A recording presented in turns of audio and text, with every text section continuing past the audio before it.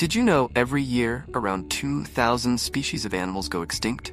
Now, you may think that when these animals go extinct, you'll never see them again, and they're gone for good. But thanks to modern science and technology, that's not exactly true. You see, biologists have developed a science known as de extinction. This basically uses the DNA we have of extinct animals to bring them back to life. Now, whether you think bringing extinct animals back to life is a good thing or not is a different question. But it's pretty amazing that we can do this with today's technology. So let's take a look at some extinct animals that one day, pretty soon, may be roaming the world with us. Number 10. Woolly Mammoth.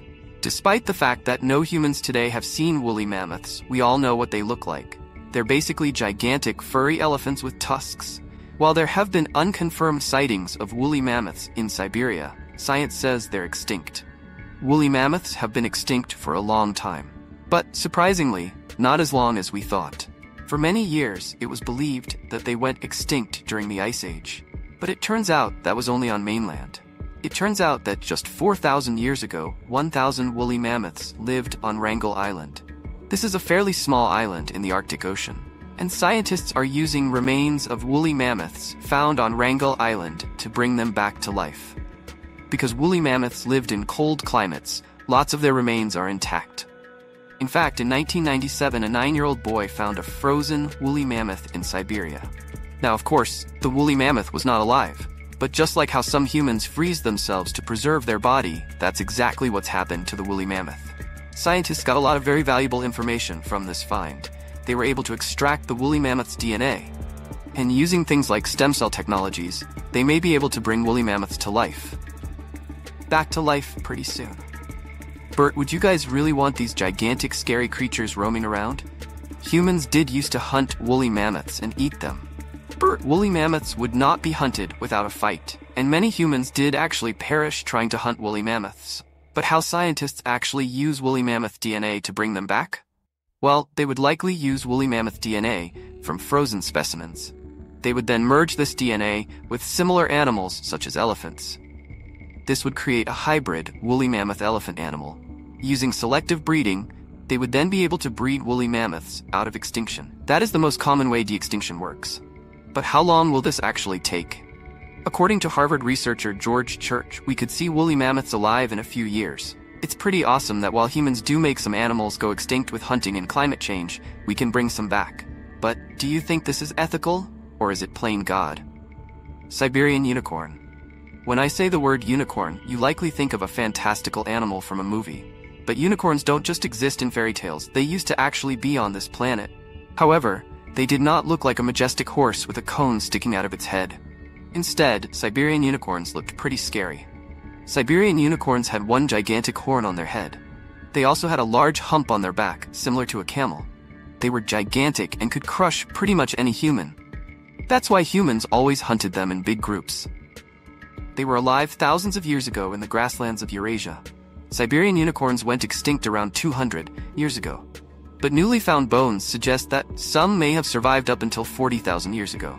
Siberian unicorns weighed around 4 tons. The problem researchers had when bringing this animal back to life is that the DNA they had was too old. But in 2018, new technology finally allowed for Siberian unicorn DNA to be analyzed for the first time. But why exactly did Siberian unicorns go extinct? Although they did live at the same time as early humans, it was not our fault. It turns out Siberian unicorns were very picky eaters. They used to eat very tough, dry grasses, but over time, the climate changed and things got very cold. All of this grass was buried in a big blanket of snow. Other grass eaters adapted their diets to other vegetation that survived the snow. But Siberian unicorns did not, and they paid the price by going extinct. Well, it's likely they will merge Siberian unicorn DNA with rhino DNA. That's because rhinos are the most similar animals to them that we still have today. Thylacine. The thylacine is also known as the Tasmanian tiger. It would actually be much easier than other animals to bring back the thylacine. That's because they went extinct fairly recently, and we also have the remains of the last thylacine on Earth. Thylacines are similar to wolves. They're known for their black stripes on their back and their long, stiff tail. They inhabited Australia, Tasmania, and New Guinea. In the 1900s, there were still many of these in Tasmania. But that's when this animal was demonized and accused of eating sheep. Farmers and the government did not like this one bit, and they gave bounties out to anyone who would shoot thylacine. The last thylacine passed away in 1939. It was actually taken to an Australian zoo to be looked after. But that is the opposite of what happened. It was neglected in the zoo. The thylacine was locked out of its sheltered area where it slept. It was exposed to boiling heat in the day and freezing cold temperatures at night. Sadly, this caused the last remaining thylacine in the world to pass away.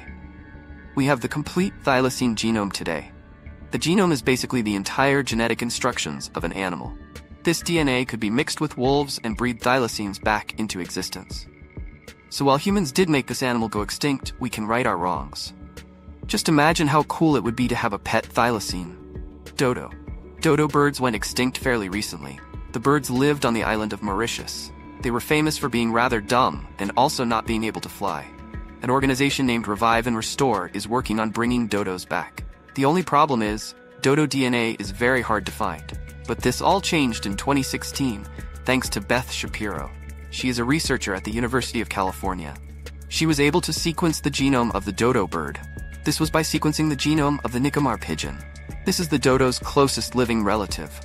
Saber-toothed tiger. Everyone knows the saber-toothed tiger from the Ice Age movies. They were like tigers we have today, but with two gigantic fangs. They also lived in snowy environments. During the Pleistocene era, these were found in North and South America, but they went extinct around 10,000 years ago. This was because of climates changing. Also, lots of their prey went extinct, and humans also hunted saber-toothed tigers for their meat. But thanks to saber-toothed tiger remains, frozen in ice, we can bring them back. Despite the name, they are not actually related to tigers. It's believed there are many undiscovered saber-toothed tiger remains frozen in Siberia today. If we can find these, then they'll be brought back even quicker. But some say there aren't any benefits to bringing this animal back. After all, they are gigantic in size, and if they were out in the wild, saber-toothed tigers would be very dangerous to humans. Giant elk. The giant elk, also known as the Irish elk, went extinct around 13,000 years ago. They were mainly found in Eurasia and northern Africa, but many of their remains have also been found in Ireland. The most similar living relative of this animal are reindeer. Using giant elk DNA and a deer embryo, they could bring back the giant elk. Like the dodo, the moa is another extinct flightless bird. These were very gigantic, weighing 510 pounds. They went extinct fairly recently in the 1600s. They used to inhabit New Zealand, but they went extinct thanks to humans hunting them for their meat. But researchers at Harvard University have been able to reassemble the moa's genome, and in 2018, DNA was extracted from a toe bone of a moa.